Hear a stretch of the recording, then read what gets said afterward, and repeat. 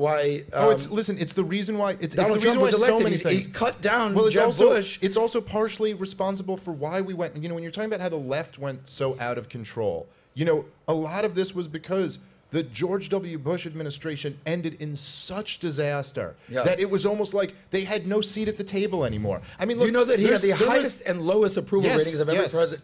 Oh, When- after 9/11, yeah, he had the highest 80 approval something rating. percent And approval look, rating. also, At the time he was the- out of office, it was like 20 this percent. this might be almost hard for I think younger people. You know, like I go, I, I do a lot of shows and I, I have a young audience, so I'll talk to like twenty year olds and stuff, and they don't really, you know, they were like babies when this was happening. They're But babies it's- now. Well, yeah, but they but they don't like remember it. I'm saying that there's you almost feel like there's the left just controls the broader culture. But this actually was not the case immediately following 9 11. The culture had a very right wing mood to it. It was very much about like patriotism and hierarchy and military and go America, which was a natural response to being attacked, you know? And it was very much like, and essentially, the American people, as you mentioned, the highest approval ratings in, since we've been recording, presidential approval ratings, the American people gave George W. Bush a blank check Yep. to fight this Yeah. war on terrorism. They go, you have whatever war you want, whatever action you want, whatever policy you want. Yeah, if you want to agreed. grope us at the Yeah. airports, if you want to torture people, Enter the you want to open, Act. you want to open Guantanamo Bay, the Patriot Act, the Department of Homeland Security being created, whatever you want. And and he spent this blank check on two wars in Iraq and Afghanistan that led to the deaths of uh, over a million people.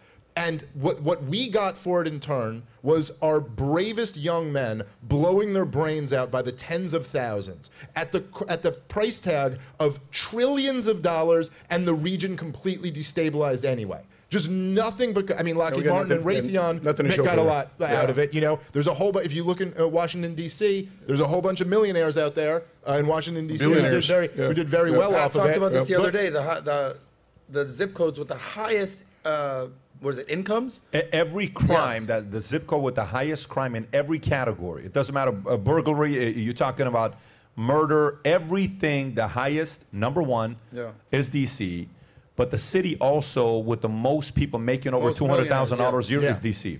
And all of them are making it That's because the they're in swamp. Around the some way, some way politically In the politically entire connected. country, including New York, in- Yeah. including LA, Newport Beach, Miami.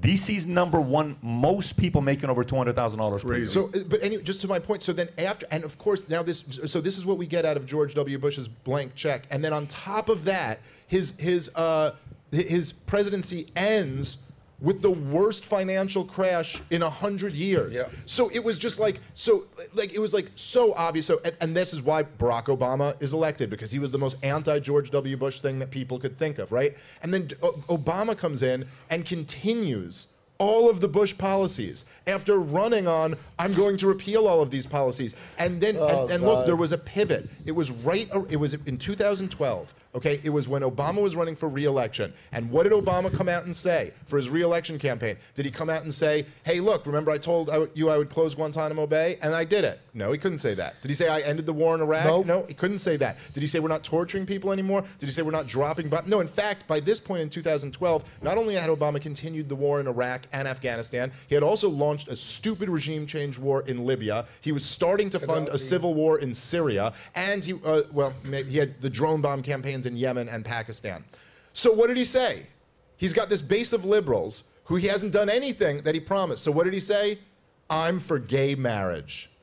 I'm the first Right. president who's ever been for gay marriage. And they put the White House up with the pride flag colors. And if you go look at look, this was this was a concerted effort from the top. You can go look. There are these nexus charts where you can map out words in major publications. I'm not talking about mom and pop news outlets. I'm talking about the New York Times, the Washington Post, like the big dogs.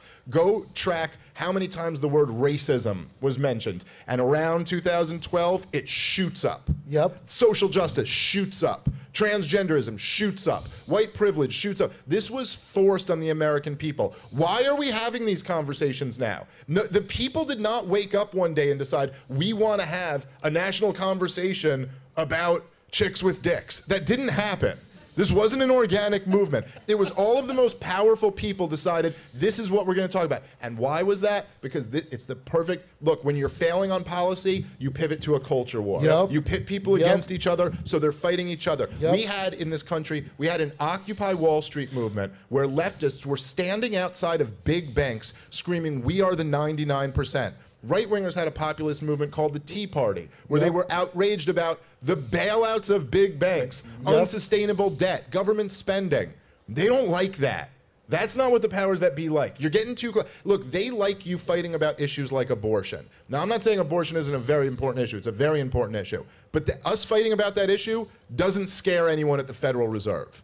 It doesn't scare anyone in the CIA. They don't care if you fight about that issue. They love you fighting over transgender bathrooms. Yep. They have no, and you can see this every day. They're stoking this culture war because they have to to distract from the fact that they completely failed on everything else. That everything in the 20th century so far for America, politically speaking, has been a disaster.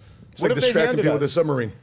Huh? They distract you with the submarine, but the other issues are Stories going like that, they well. love stories like that. CNN loves an airplane crashing. They love something where it'll get clicks and no powerful people will be upset about it. If they actually loved real stories that just got clicks, there's a lot of stories that get clicked. They've been passing them up for years. It's part of the reason why shows like this, shows why Joe, like Joe Rogan, are taken off because they can run stories. Hey, do you think that like people getting vaccine injured is not a story that would generate a lot of views? for CNN. The vaccine that the government just mandated has hurt all of these people. That's a huge story. Why won't they run it?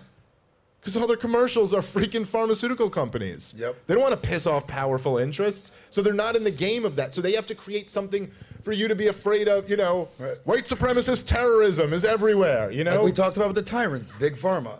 Oh, yeah, Right? a we say this. We, we talk about this on podcasts all the time, right, Pat? There's two countries in That the world rant that was. Uh, listen, I'm still on that. That was amazing. man. That was. It makes some noise for Dave, man. I was unbelievable on what, what was you just said amazing. there. Thank But, you. You know, I want to go to the next Yeah. story. I want to go to the next story. I, I, I will tell you guys, the last rant, what it did confirm that the biggest threat to America is no longer chicks with dicks. That was very important to know that. Thank you for Don't that. ask, don't tell. Hold on, good. you didn't let me finish the rant. it, it gets there. So right, now it next is one. Next one, I want to talk about what's going on in Hollywood. Anybody